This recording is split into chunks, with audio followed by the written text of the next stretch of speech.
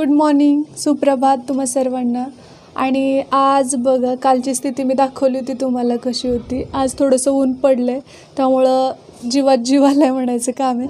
तर या ठिकाणी कपडे वगैरे वाळत घातलेत मी. मीच नाही सगळ्यांनीच. अतिशय गंभीर पावसामुळे भूस्खलन आणि दरड कोसळून ज्या लोकांचा मृत्यू झाला त्या सर्वांना सगळ्यात अगोदर भावपूर्ण श्रद्धांजली. आता जरी ऊन पडलं असेल ना तरी रात्री खूप जास्त पाऊस होता. त्यामुळं आणखीनच भयानक स्थिती निर्माण झालेली आहे. आता सध्या ऊन आहे तोपर्यंत बरं वाटतंय पण सगळ्यांच्या मनात हीच भीती आहे की आता ऊनच राहावं पाऊस येऊ नये. रात्रीच्या पावसाने किती हाहाकार माजवला आहे हे मी तुम्हाला थोडक्यात दाखवते काही क्लिपच्या माध्यमातून.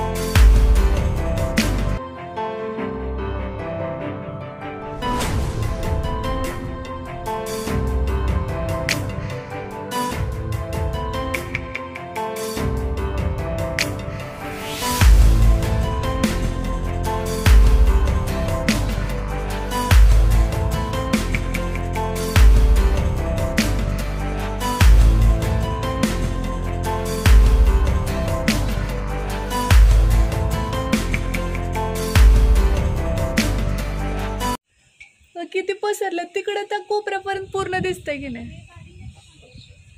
हा.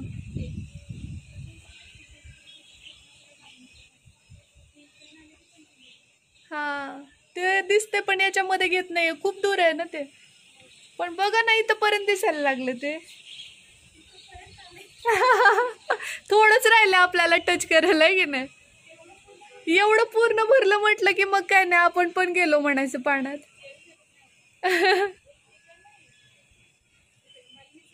हां. हां. कितीही भारी घरं असली तरी तर खूप मोठा प्रॉब्लेम आहे तुम्हाला दाखवते. हे बघा घरात सुद्धा पाणी आलं आहे अक्षरशः. दिसत असेल तुम्हाला. हे पाणी.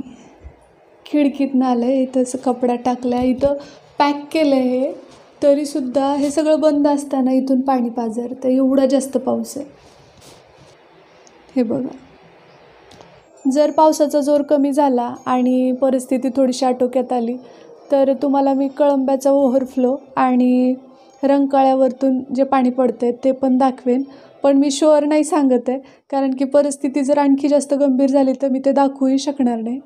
आय होप तुम्हाला दिसत असेल म्हणेपर्यंत पाऊस सुरू पण झाला लगेचच. इथल्या बायकांना सगळ्यात मोठं काम हे आहे पावसाळ्यामध्ये कपडे वाळायला घालायचं. सगळ्यात पहिलं उठलं की अगोदर कपडे धुवायचे आंघोळ करून आणि वाळत घालायचे. ऊन पडलं की वाळू घालायचे पाऊस आला की काढायचे. हे सगळ्यात मोठं आणि दिवसभरातलं प्रचंड कटकटीचं काम आहे इथं. या व्लॉगच्या माध्यमातून एवढंच सांगू इच्छिते की शक्य तेवढं इतरांना मदत करा. आसपास तुमच्या जर अशी परिस्थिती असेल तर एकमेकांना मदत करा. कारण हीच ती वेळ आहे ज्यावेळी एकमेकांची मदत खूप कामी येते. घरात राहा सुरक्षित राहा. आणि ज्यांच्यावर कुणावर असे वाईट वेळ आलेली आहे संकट आलं आहे तर त्यांना सहानुभूतीने मदत करा. आपण सर्वजण देवाच्या चरणी एवढीच प्रार्थना करूयात की ही जी परिस्थिती आहे ती लवकरच पूर्ववत होऊ देत.